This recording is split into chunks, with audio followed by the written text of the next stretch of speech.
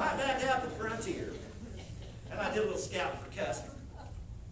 He didn't know much about Indians. He was heading out to Kansas, I scouted for him. He offered me a job scouting for him for the 7th Cavalry, but by then, I had already been offered a job hunting meat for the Kansas Pacific Railroad. They said they would pay me $500 a month, and that was big money in 1867. $500 a month to kill 12 buffalo a day to feed the men who were building the railroad. They gave me a little buckboard, a couple of mules, and a driver named Scotty. He was a butcher. We'd go out, shoot 12, 14 buffalo in a day. He was pretty good. He could rip a hide off a buffalo in no time. He'd take the rump up the tongue, and we sometimes take the head if it was a particularly nice one have it mounted. You, if you take a train out west, you go through the Kansas Pacific Railroad there, you'll see that all those stations have mounted buffalo heads. I shot all of those. Yeah, well, we hunt a lot of meat. Scotty loaded up the wagon, we'd ride back, and all the railroad men would say, Buffalo Bill, Buffalo Bill, never missed and never will. Always aims and shoots to kill, and the company pays his Buffalo Bill. That's how I got my name, Buffalo Bill. Those railroad men, they were pretty. You know, I've heard people say that I had something to do with the near extinction of the buffalo. Now, I know when Lewis and Clark went through in 1805, they calculated there were from 40 to 60 million buffalo in the West. Now, I hunted buffalo for 18 months for the Kansas Pacific Railroad, and in that time I calculated that I had killed four, four, well, as I get older, I can't remember stuff. I go off on tangents and can't come back and all sorts of things. 4,280 buffalo is what I killed in that 18 months. Now, you can't tell me that that little number had anything to do with the near extinction of 60 million buffalo. I tell you who did, though. It was the hide hunters. I hunted 1867, 1868. About 1870, 71, the tanneries in England and Germany found out how to tan buffalo hide commercially. And what they ended up with was a really durable hide, a lot better than cowhide, available in much longer lengths. Back in the east, all up and down those rivers, whew, not as hot as it is here, but up and down those rivers, they were building all these factories. Industrial revolution. Every river have a big paddle wheel outside, and there'd be a shaft running down through the ceiling of these factories, and every few feet there'd be a pulley. And from those pulleys led down a buffalo hide belt to the drill presses, the lathes, the looms, the spinning machines, the mills of all the machines that they used to build products of the industrial age.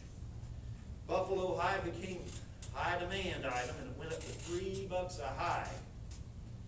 Now it was possible for a man to go out, buy himself a Remington rolling block or a Sharps rifle, sit back a thousand yards, just shoot into a herd. Now, they didn't bother picking a target, they just shoot into a herd.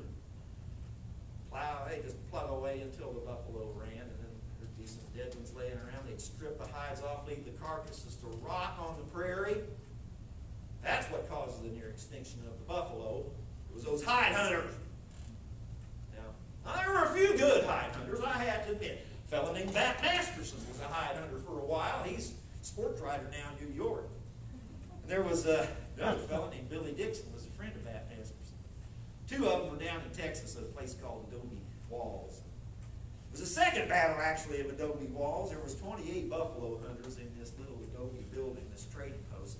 Lucky guys, though, because that night one of the Vigas, one of the roof poles broke and cracked, and like a shotgun blast woke these fellas up. Two of the buffalo hunters went out and slept in a wagon, but the rest of them went to work to repair this Viga to try to keep the roof up.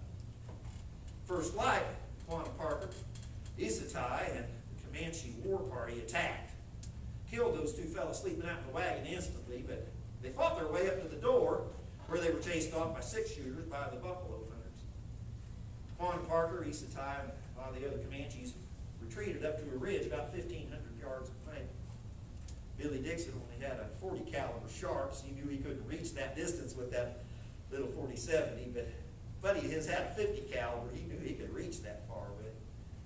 He put a bullet up there and knocked it. Comanche sitting next to Quanah Parker off his horse.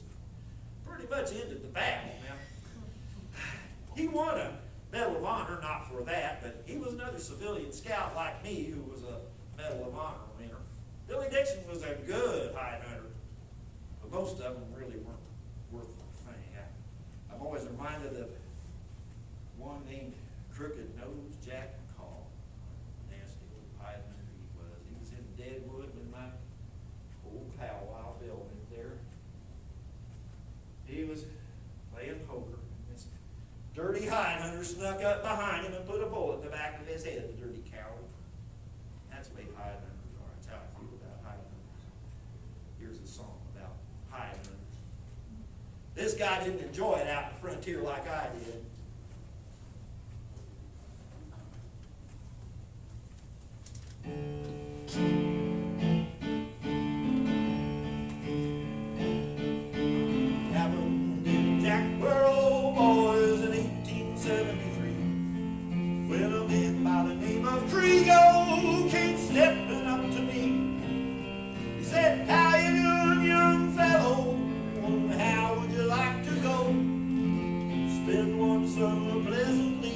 On the range of the buffalo.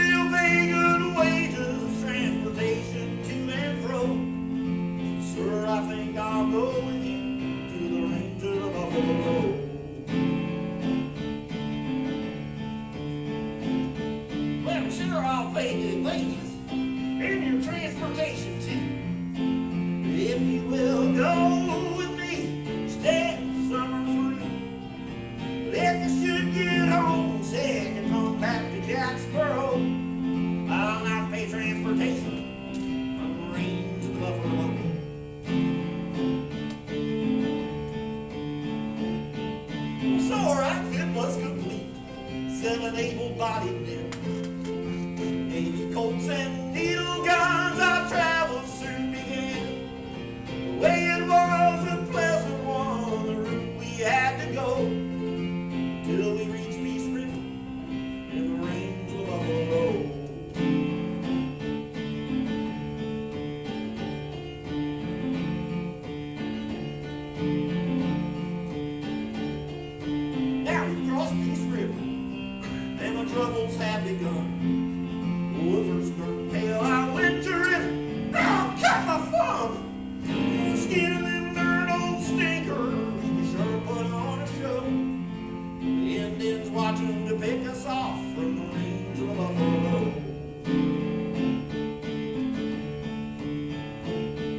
And us on such sorry chuck, but I wish myself most dead.